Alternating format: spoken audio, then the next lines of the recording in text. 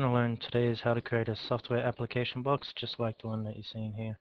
So let's get started. The first thing we want to do is create a new image and we'll just have it 800 by 800 and background transparent and then just hit OK. Then what we want to do next is um, select our rectangular tool, make sure the fill pixels option selected and then we're just going to draw a rectangle just like that. Now we'll just move that up a bit.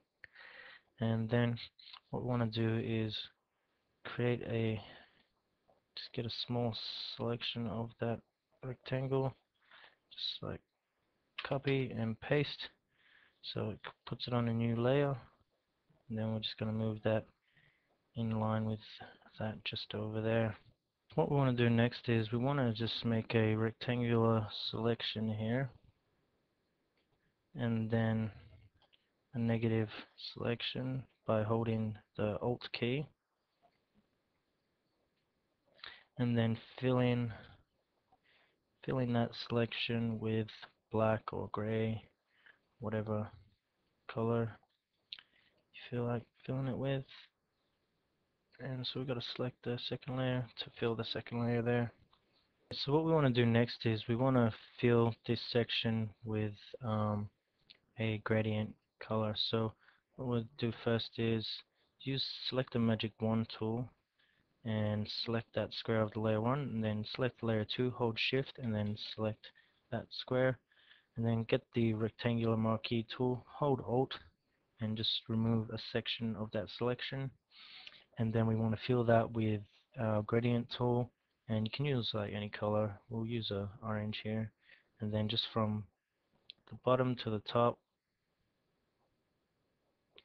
and fills that just like that.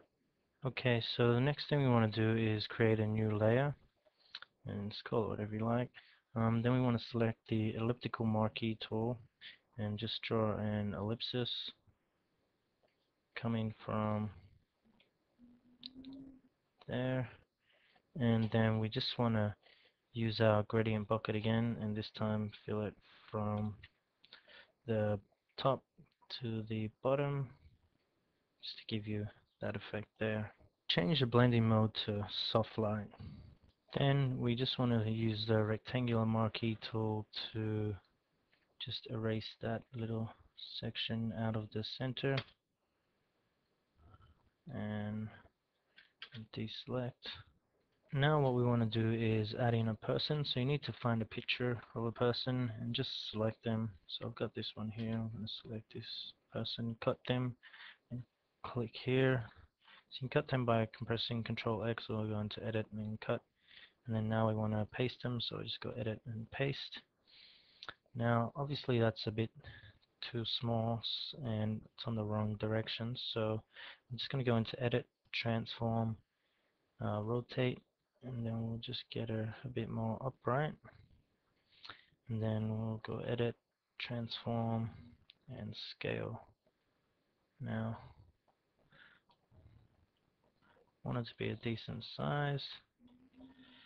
So just select that there and then hit the tick.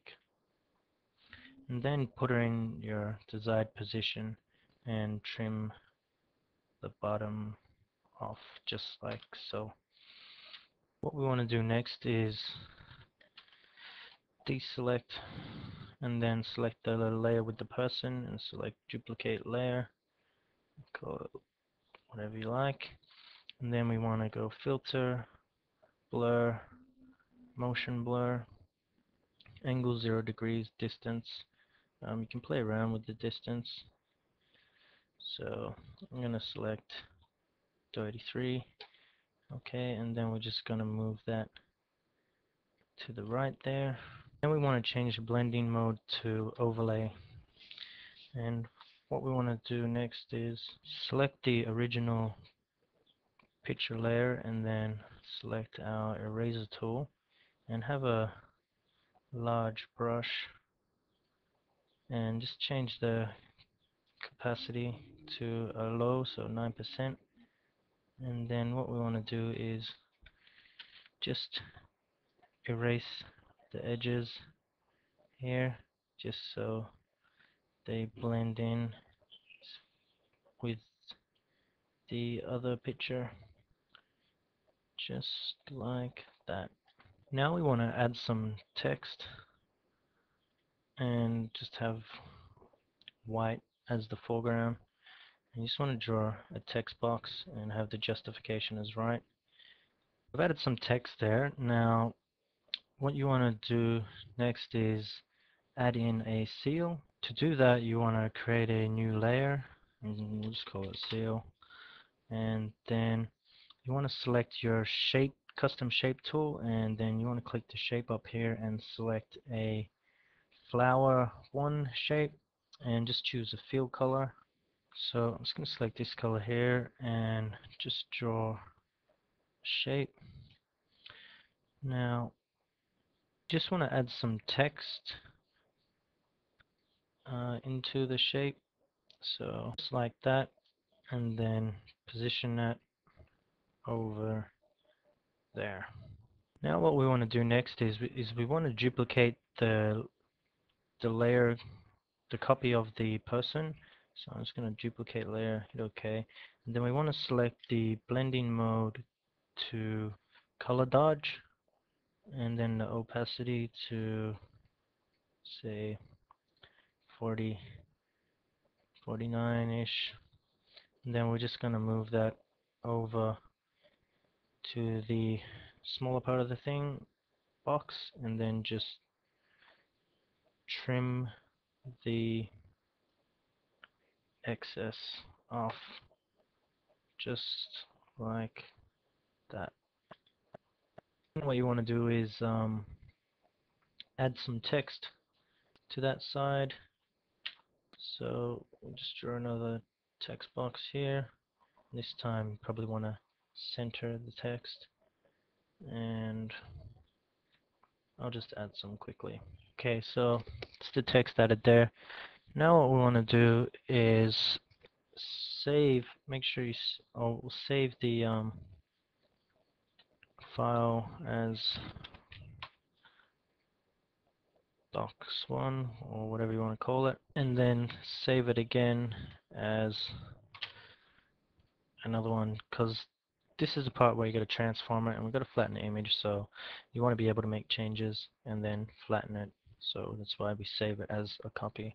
So now we want to go into edit.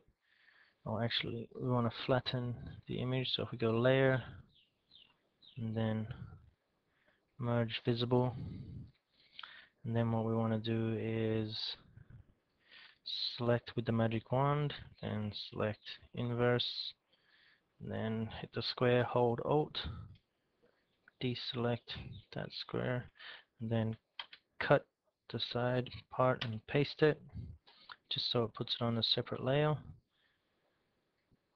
And now we want to select the bigger box and then go into edit, transform,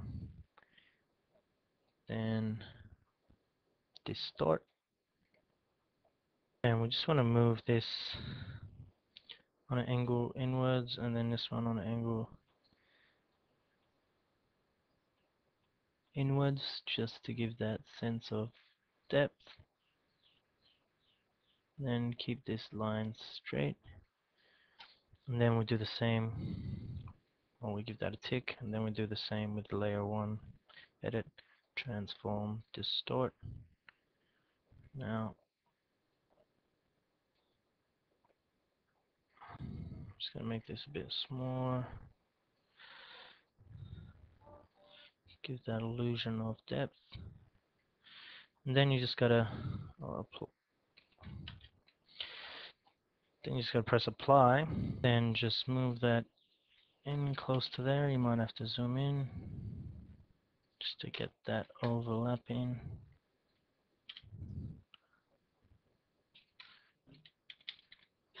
and then you're done. So you can just play around with that to sort of make it look a bit more natural. Just like so.